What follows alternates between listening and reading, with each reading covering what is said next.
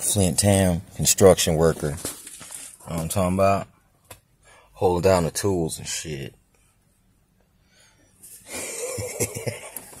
you know what I'm saying? Uh, ain't nothing but a thing. In just an everyday life. Every day. Everyday thing. Out here. I'm over here in the easy, sleazy side of town. I'm over by Corunna now, though a couple blocks away from the Flushing and Ballenger freaking situation.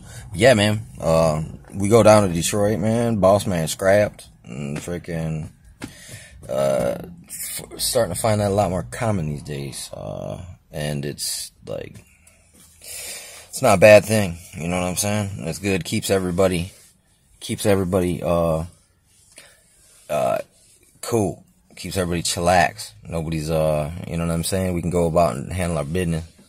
I mean, it's really, I've, I've had, I was in Thug Life Construction, Gladiator School Construction, and Roof Gang. Uh, so, uh, I mean, these aren't, this is just stuff that I made up, okay? So, but it really was. It's like I'm running into, wow, look at that bird. Running into high level gang members, Rick and, uh, working for, uh, yeah, gang members from different gangs, uh, freaking oddly, you know what I'm saying? Freaking old school and new schools, all that. Anyway, I'm out, I'm out here. Flint Town.